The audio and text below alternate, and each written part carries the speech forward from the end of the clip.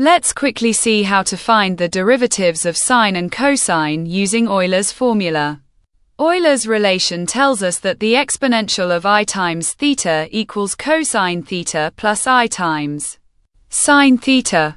Now, if we take the derivative of both sides with respect to theta, on the left side, we get i times the exponential of i theta.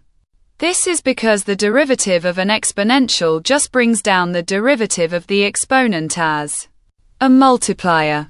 On the right side, we apply basic derivative rules. The derivative of cosine theta is unknown for now and the derivative of i times sine theta is i times the derivative of sine theta.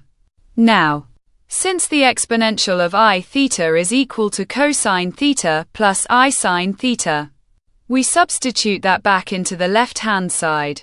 Multiplying i with cosine theta plus i times sine theta gives us two terms first.